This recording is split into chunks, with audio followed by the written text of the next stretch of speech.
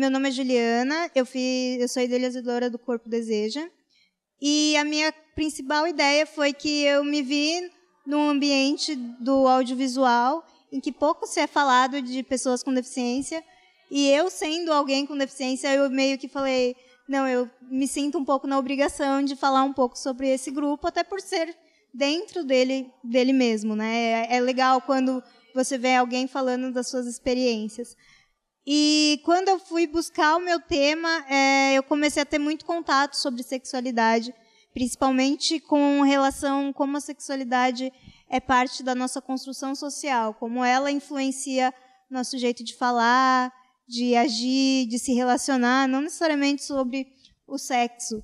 E, e eu percebo que ignorar esse lado pode trazer uma insegurança muito grande para as pessoas, para ela poder enfrentar o mundo por aí. Então, a minha ideia no projeto era principalmente trazer essa discussão para as pessoas perceberem que a sexualidade com, a com deficiência ela existe, ela não tem que ser ignorada e que você não tem que tentar poupar poupar tristezas para as pessoas. E ela tem que ser conversada, explorada e deixar ser vivida, que isso é muito importante para você se tornar quem você é, né? Eu percebi que é mais complexo do que eu achava em muitos pontos. A sexualidade é muito particular.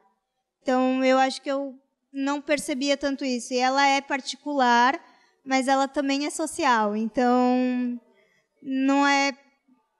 Não sei como é que eu vou explicar, mas eu acho que a forma como a gente vê o indivíduo, isso vai influenciar muito na forma como ele se vê. Então, eu acho que eu tive muita é, essa percepção. Eu achei desafiador, tanto que quando eu fui para minha produção, eu quis procurar pessoas que estavam acostumadas a falar sobre isso. Porque não é um assunto que eu vou encontrar alguém ali na rua conversar e a pessoa vai abrir a sua vida, infelizmente, é um pouquinho complicado.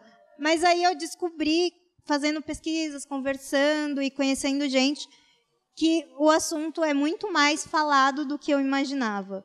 Então, eu acho que a grande ideia do, do filme, para mim, era realmente mostrar que isso é muito falado, que você pode ir atrás, que você vai encontrar um mundo muito grande por aí de gente falando sobre, escrevendo sobre, fazendo filmes e tudo mais.